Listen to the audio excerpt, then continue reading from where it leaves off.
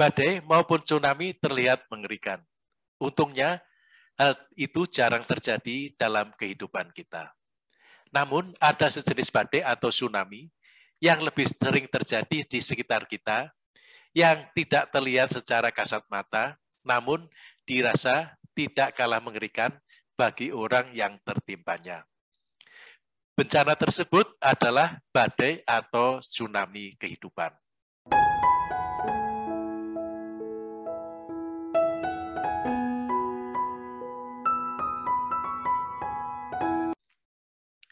Assalamualaikum warahmatullahi wabarakatuh. Jumpa lagi dengan saya, Dr. Gunawan Setiadi, MPH. Pada video kali ini, saya akan berbagi tips tentang strategi menghadapi badai kehidupan. Strategi ini telah dipakai oleh orang-orang yang tangguh, yaitu orang-orang yang tahan banting dan cepat bangkit kembali ketika jatuh. Tonton videonya sampai habis.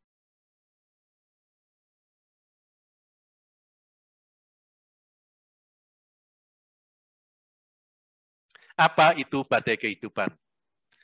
Akhir-akhir ini banyak terjadi peristiwa yang terjadi pada masyarakat berikut ini. Yang dampaknya pada tingkat individu atau keluarga bisa dirasakan sebagai badai kehidupan. Usaha penerbangan menjadi salah satu yang terdampak akibat pandemi COVID-19.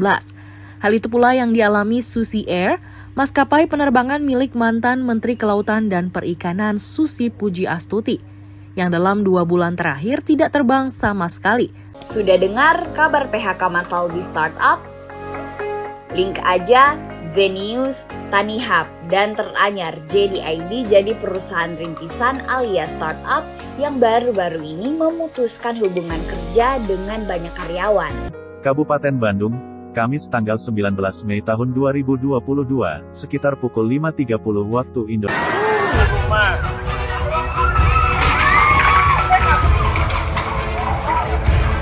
Ada beberapa jenis badai kehidupan seperti kepala keluarga atau anggota keluarga yang menderita sakit parah, pemutusan hubungan kerja terhadap kepala keluarga, kehilangan seluruh atau sebagian besar harta benda, perceraian, dan lain-lain. Di masa depan diprediksi akan semakin banyak peristiwa yang bisa berdampak pada individu maupun keluarga sebagai suatu badai kehidupan. Orang yang tangguh mampu mengatasi pukulan dalam hidup dan menjadikan diri mereka lebih kuat. Mereka bangkit kembali dari suatu kegagalan dengan lebih banyak kecerdasan dan kemampuan. Orang lain melihatnya sebagai seorang yang tangguh dan tahan banting. Setiap orang dapat meningkatkan dan mengembangkan keterampilan agar bisa menjadi seorang yang tangguh dan tahan banting. Untuk itu, mereka hanya butuh pemahaman dan latihan yang tepat. Berikut ini lima strategi dalam menghadapi badai kehidupan agar bisa cepat bangkit kembali. Strategi pertama, menyiapkan jaring pengaman keluarga. Tidak hanya pemain akrobat atau sirkus yang memerlukan jaring pengaman. Dalam kehidupan sehari-hari, diri kita dan keluarga kita juga memerlukan jaring pengaman yaitu jaring pengaman keluarga. Jaring pengaman keluarga adalah sebuah alat atau instrumen yang dapat mencegah atau setidaknya mengurangi penderitaan, kesusahan sebagai akibat dari suatu kejadian yang tidak diinginkan. Dengan memakai jaring pengaman, ketika hantaman kehidupan membuat kita terjatuh, alat tersebut akan dapat membantu kita untuk segera bangkit kembali. Jaring pengaman telah terbukti sangat bermanfaat ketika suatu kecelakaan atau kejadian yang tidak diinginkan menimpa diri kita atau keluarga kita. Jaring pengaman bisa dijumpai dalam pertunjukan sirkus maupun dalam proyek pembangunan gedung-gedung bertingkat yang tinggi. Apa saja bentuk jaring pengaman keluarga? Berikut ini bentuk jaring pengaman keluarga yang kita butuhkan. A. Mempunyai tabungan khusus sebagai jaminan pengamanan keluarga. Usahakan untuk mempunyai tabungan yang dicadangkan khusus untuk menutup biaya yang bersifat emergensi atau gawat darurat. Misalnya, tabungan tersebut bisa dicairkan bila ada kepala keluarga yang terkena pemutusan hubungan kerja, kehilangan harta benda akibat bencana alam atau pencurian. Berapa besarnya tabungan untuk jaring pengaman keluarga? Sebaiknya kita mempunyai tabungan sebesar 6 kali pengeluaran bulanan. Tabungan untuk jaring pengaman keluarga sebaiknya berupa tabungan uang di bank atau berupa emas sehingga mudah dicairkan. B menjadi peserta jaminan kesehatan nasional atau lebih dikenal sebagai BPJS Kesehatan. BPJS Kesehatan relatif murah karena dengan cakupan manfaat yang sangat besar. Mulai dari sakit batuk pilek hingga operasi jantung atau cuci darah, semua biaya akibat sakit kita ditanggung oleh jaminan kesehatan nasional. Meski menurut undang-undang, menjadi peserta JKN adalah suatu kewajiban, namun perlu saya tekankan di sini bahwa menjadi anggota BPJS Kesehatan adalah merupakan suatu hal yang sangat menguntungkan. Pada prinsipnya, sakit apa pun tidak akan lagi menjadi beban finansial bagi keluarga. C. Sedekah. Sedekah dapat mencegah terjadinya bala, musibah, ataupun kecelakaan. Sadaqatus sirri tadfa'u mitatasu'i Memperbanyak sedekah sirri diam-diam Menolak mati jelek, mati buruk, musibah, malapetaka dan bencana Sedekah diam-diam Pak, saya mau sedekah Iya, tapi saya mau mengamalkan sedekah diam-diam Jangan tulis nama saya Ah, kami pengurus masjid mau nulis di dinding Pak whiteboard. Jangan. Kalau mau tulis hamba Allah aja. Berapa Pak? 2000. Strategi nomor dua, petik pelajaran dari pengalaman diri sendiri dan pengalaman orang lain. Tinjau bagaimana Anda secara efektif telah mampu menangani stres atau masa-masa sulit di masa lalu.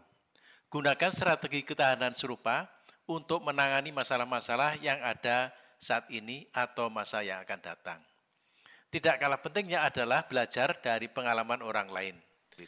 Untuk itu, sebaiknya Anda baca buku atau artikel, nonton video tentang bagaimana orang mengatasi masa-masa sulit. It's all about flexibility. It's all about adjustments. It's, it's all about being adaptable to come back after a setback, to uh, spring forward after a fall, to be able to rise again after a slip, to always gets back up, to persevere, to keep on keeping on.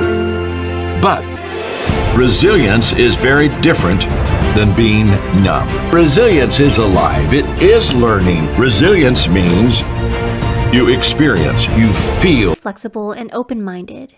Do you often stay open to new ideas, opportunities, and solutions? Resilience is all about trying to make the best out of what may seem like the worst. When you're resilient, you don't have a one track mind.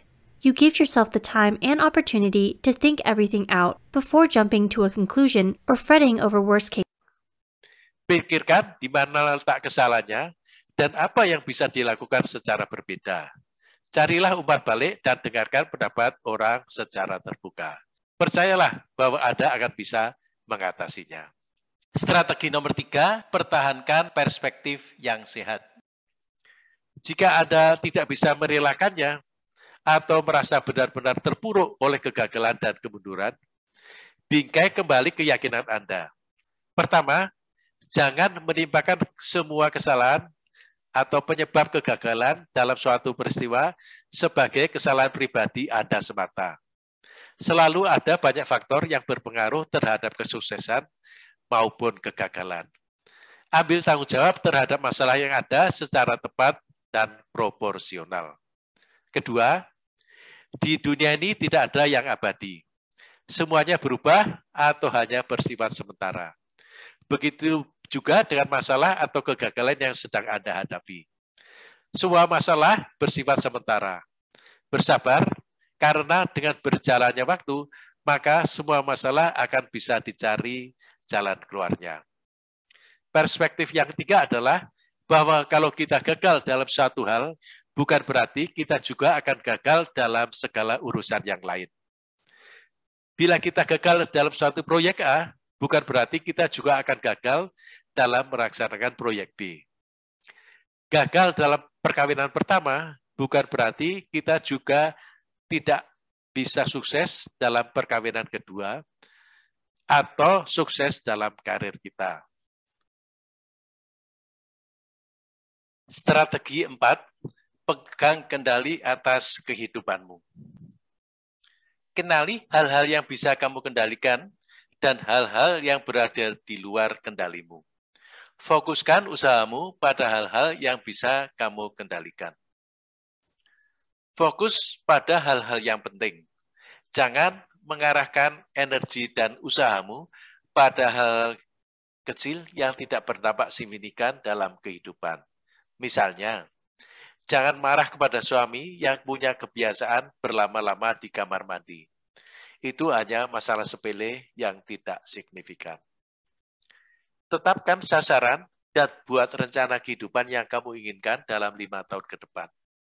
Lakukan kegiatan harian dan mingguan yang mengarah pada pencapaian tujuan tersebut. Misalnya, belajar bahasa Mandarin setiap hari selama satu jam hingga dalam waktu tiga tahun kamu akan bisa berbahasa Mandarin pada tingkat dasar. Strategi kelima, lakukan perawatan diri. Untuk bisa jadi orang yang tangguh, kita perlu sehat jasmani dan rohani.